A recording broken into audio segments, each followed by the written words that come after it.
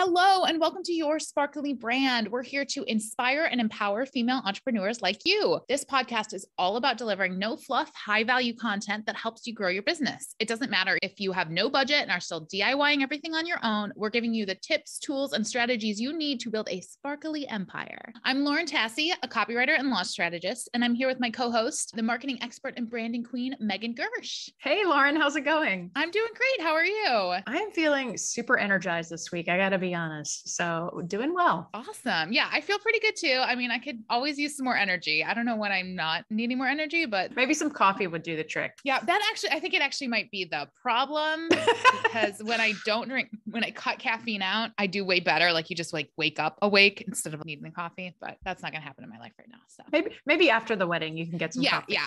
I think that's that. That's going on the list that's getting longer and longer of things I will worry about after the wedding. So, awesome. what's your sparkly moment for this week? So, this past week, I have been jumping back into my workout routine. And I know that mm-hmm. it's not totally business related, but you know, like all of that mindset and business stuff kind of goes hand in hand. So, that's felt really good. Part of the reason that I've felt so energized over the last few days. And I just noticed that, like, I just feel better during the day. It's easier to focus. Like, it has all of these like trickle down effects that I'm really enjoying. So, that is my sparkly moment. Yeah, I totally agree. And we're going to do a morning routine episode coming up. I know it's on the schedule, but like for me, even like not working out, but just like taking a walk in the morning, like the difference in between how I am the rest of the day versus if I don't do that is it's just like night and day. Yeah, absolutely. So what was your sparkly moment? So I had a old client, like from when I first started writing, I was like remembering like when I was working on this stuff for her, reach out to me and she wants to do some, she wants to do a revamp of her website copy and some new product descriptions. And it's like a client that I love. She's like super fun and like it's, it's a lot of like party dresses kind of thing. And she loves to just like get like super like into it. And it's like the product descriptions are like sneak backstage in this dress. And she's very like into like a fun brand voice. And she's not afraid of the fact that I raise my prices since I'm not a newbie anymore. And we're going to start in April after the wedding. So it's just sort of falling perfectly into place. And I'm excited to work on that again too. So,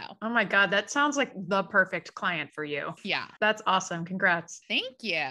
So today we are going to be talking about how to get more engagement on social media. One of my favorite topics to talk about. I feel like I talk about it almost every day with clients. And honestly, this is one of the most common questions that I get from people in general online. And so lots of these strategies are pretty universal. So you can apply them to Instagram, TikTok, your email marketing in some cases as well. So, like using this across the board in your marketing is going to be super helpful. So, one of the frustrating things about social media is that it changes really quickly. And so, you know, something that you're using one day might not work the next. And so, like making sure that you are using a mix of calls to action, you know, kind of switching up your strategy here and there, taking note of what's working and what's not can really, it can benefit your content, it can benefit your audience, and just, you know, leaning into the pieces that are really working for your business. I'm so excited for you to just kind of share all your knowledge on this. You're literally the person I always think of when somebody is like, just like what are amongst our friends, I'd be like, oh, I think I want to do this on social media. I'm like, ask Meg. It's just like she, you know, this stuff. Like I think it's just second nature to you. So I'm excited for you to share your experience with everyone. Yeah,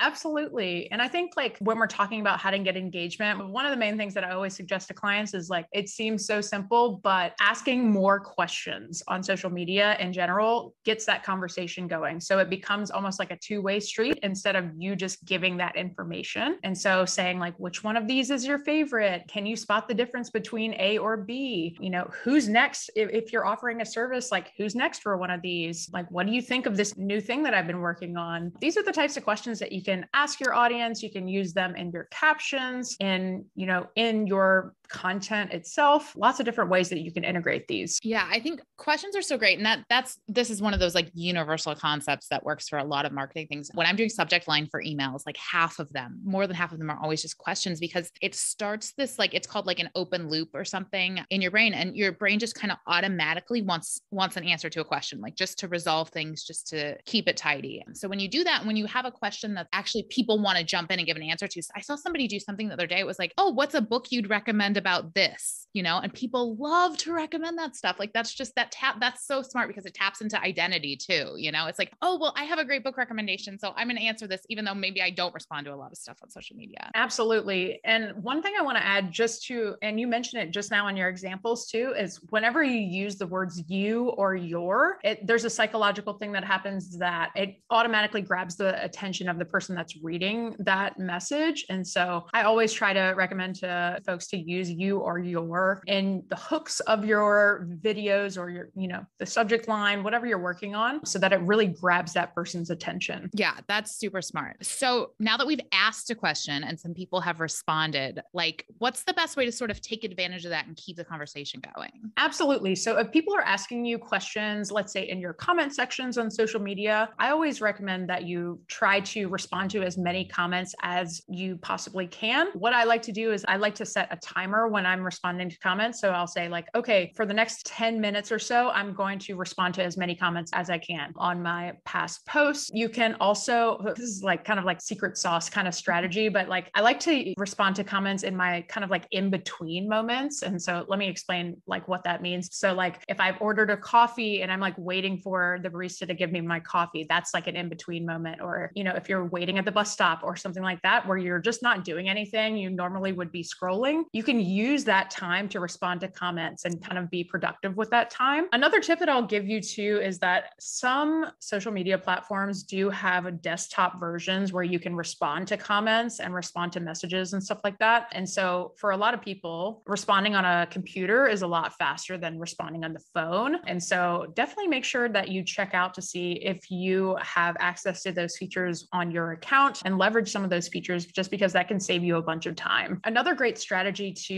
is to do video replies. So TikTok has this feature and it's such a fun way to engage with your audience just because number one, they feel like they're getting like a personalized response from you and they are, right? So that's like, you know, like that's you reaching out to them kind of on a personal basis and answering their questions so that, you know, it helps to build that bond and build that trust. And two, with video replies, you can really get a lot more across than you can in like a text. So, you know, people can see your facial expressions. You can express more with your hands. If that's something where you communicate a lot with your hands you know you can put on costumes. You can act something out when you're responding to them. There's just a lot more room for expression when you are responding to someone in that way. And finally if somebody is commenting on your post if it's appropriate responding to them with a question can also be super helpful. So you know asking someone in response like was this a helpful tip to you? Or would you use this strategy in your business or you know, thanks so much for your comment on this. Which one was your favorite? That helps to keep the conversation going. Again, this is going to drive up that engagement on your post. I love that. I think the video replies to like so many people probably are asking the same question in their heads and aren't writing it down, you know, aren't engaging. And so you're just, it, it's just tapping into even more of like knowing who your audience is by doing that. So that's super smart. Yeah, absolutely. I love video replies and I love getting video replies too. Like, as somebody who's in the online space, like, you always feel like, oh, like this is super cool. Like, I got a response from somebody that I really respect or something like that. So, yeah, they can be fun. So, to take us into our next topic a little bit, and this is, you know, what we, I feel like this is like our number one marketing tip is always just talk to your audience and find out what they want to hear about. So, how can we do that when it comes to getting more engagement?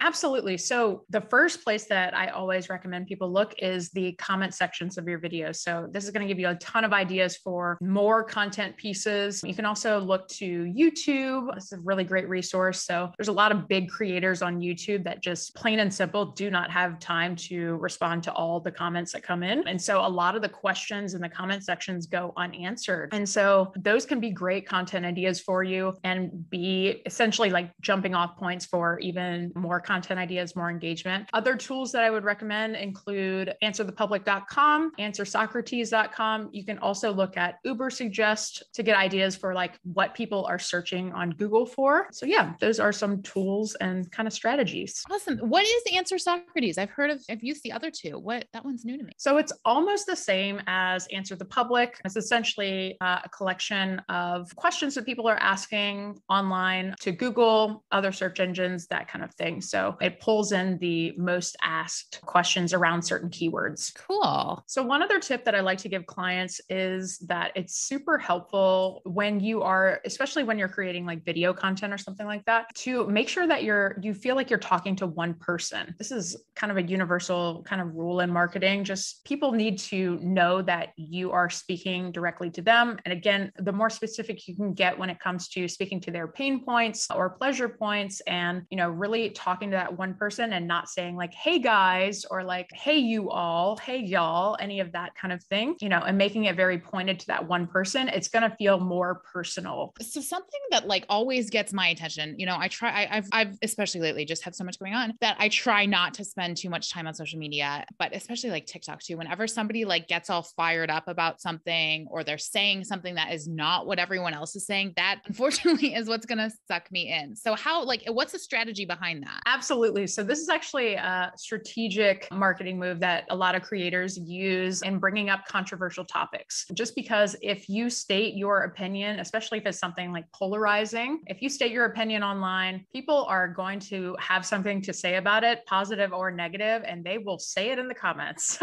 and so that is another great way to essentially generate more chatter within your comment section, get people talking, get it, get people sharing it with their friends. And yeah, it's just, it's a strategy that a lot of creators use.